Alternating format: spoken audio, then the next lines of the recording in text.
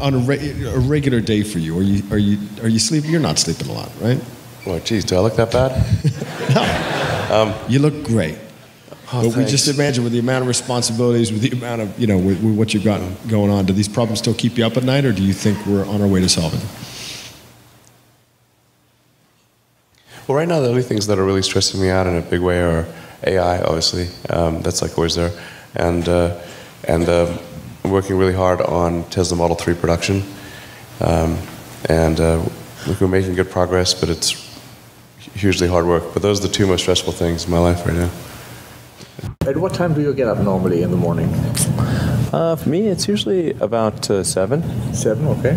Um, but I go to bed late, so usually it's I go to bed around uh, 1 a.m. or so. 1 a.m. Yeah. And you start day with a real breakfast or just with a coffee or with a water? You know that also varies a lot. Um, I, I think it's probably true that if you that having a good breakfast is is a good idea, but um, usually I don't have time for that. So um, sometimes uh, sometimes it's it's made for me, but um, probably half the time I don't have any breakfast. I had to have like coffee or something like that. And a Mars bar with it? Mars bar, sure. And I well, I'm trying to cut down on the on on sweet stuff. So, um, but I think I mean I I think I probably should have like a an omelet and a coffee or something like that. That seems like probably the right thing. And sometimes I do have that. Okay, so you're running, you're CEO of two companies, you're chairman of Solar City. Talk about time management. How on earth do you do this? Well, Do you get any sleep? Uh, yeah, sometimes not enough. Sleep is, is really great because because if you, I find if I don't get enough sleep, then I'm I'm quite grumpy. Um, I mean, obviously, I think most people are that way. Um, and, and and also, um, like I try to sort of figure out what's the right amount of sleep because I found I could have I could drop below a certain threshold of sleep, and although I'd be awake more hours and I could sustain it, I would get less done because. Um, mental acuity would be affected. Um, so I found generally the right number for me is around six to six and a half hours on average per night. Um, That's not too bad. yeah, Right. And any other tips on an average though. right? Any other tips on, on just managing to run two companies simultaneously? I mean, do you do you find? I mean, I know you're up here Monday, Tuesday. Is it all Tesla when you're up in Silicon Valley, and all SpaceX Wednesday, Thursday?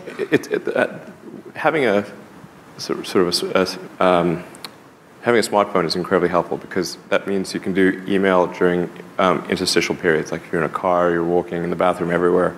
You, know, you can do email practically when you're awake, um, and uh, and so, so that's really helpful to have email for SpaceX and, and Tesla integrated on, on my phone, um, and then. Uh, and, and then it's just you have to apply a lot of hours to actual working, actually working. So the, the way I generally do it is I'll be uh, working at SpaceX on Monday, and then Monday night fly to the Bay Area, uh, spend Tuesday and Wednesday in the Bay Area, then at, at Tesla, and then fly back on Wednesday night, spend Thursday and Friday at SpaceX um, in, in, in the last several months, then I, I would fly back here on a Saturday um, and either spend Saturday and Sunday at Tesla uh, or spend Saturday at Tesla and Sunday at SpaceX. Um, And where, and where do the boys fit in? You have five sons. um, yeah, Do, I, they, I do kinda- tag along with dad on some of these they, trips? I do drag them along in a lot of things, actually. Um, they're remarkably unimpressed by What be capable of doing is near perfect uh, control on freeways, uh, even where there's no cars, um, and um, near perfect control in any traffic situation where it's tracking a vehicle. So that's um, yeah, maybe a different one. Hello. Hello. Um, yeah, so that's going to get better. Uh, one of the things we're also working on is the mapping solution. Uh, and if, if I seem a little ragged, by the way, it's that I literally had one hour of sleep in the uh, last 48 hours. Um, so, sorry. Um, so the the, the, the, the, the, I think that result is, um, you know, basically in about two years we should have Model 3 plus full autonomy. Yeah, it's really quite transformative. So three will have autopilot. What do you mean by all, Yes. all future Teslas? Yeah. It doesn't work so well in the countryside. It, it's the, the current autopilot does not work on windy roads in the countryside. Really. What do you mean by full autonomy? Yeah, full autonomy, yes. With autopilot? Um, no human intervention required. Okay. More than the Human ship. intervention optional. Parce qu'à Fontainebleau, c'est intéressant, parce que nous avons Probably two years, worst case three years. Over for that. That- That's the difference. Uh, regulatory approval is, is a separate track. In terms of if it being technologically done, it's in the two to, year, two to three year time frame. Um, and then uh, we've got the, te- the Tesla Powerwall and Powerpack. Um, some of them are going to sound like, well, you've heard it before, but uh, it's you know, worth re-emphasizing. I think the first is uh, you need to work, if you, if, depending upon how well you want to do, and particularly if you're starting a company, you need to work super hard. So what, what does super hard mean? Um, well, when my brother and I were starting our first company, uh, in, instead of getting an apartment, we just rented a small office and we slept on the couch. Uh, and we, we showered at the, the YMCA, and uh, we're, we're so hot up we had just one computer. So the, the, the, the website was up during the day, uh, and I was coding at night. Seven days a week, all the time. Um, and I, I uh, sort of briefly had a girlfriend in that period, and in order to be with me, she had to sleep in the office. So uh, work hard, like, it, it, I mean, every waking hour. That's, that's the, the thing I would, I would say, if, if you, particularly if you're starting a company. Um, and I mean, if you do simple math, say like, okay, if somebody else is working 50 hours and you're working 100, uh, you'll get twice as done, as much done in the course of a year as the, as, uh, the other company.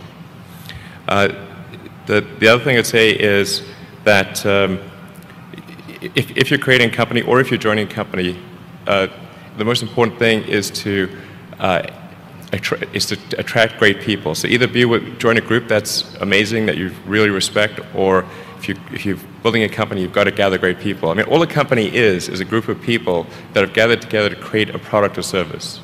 And so, depending upon how talented and hardworking that group is, and the degree to which they are focused uh, cohesively in, in a good direction, that will determine the success of the company. So, do everything you can to, to gather great people uh, if, if you're creating a company.